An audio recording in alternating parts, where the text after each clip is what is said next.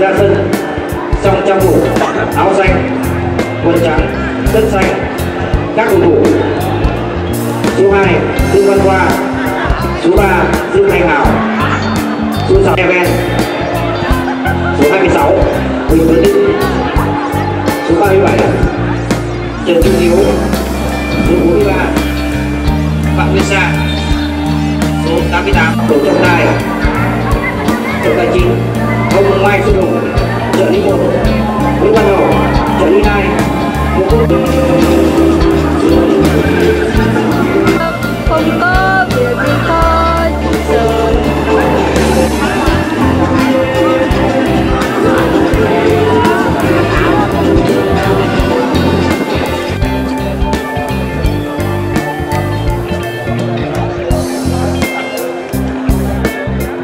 mọi người dự đoán tỷ số đi ạ đoán là Viettel thắng